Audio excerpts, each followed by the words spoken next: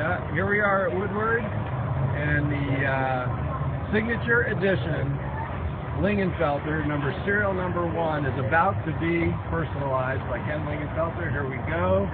Ken's going to sign it and make it official, and number 001.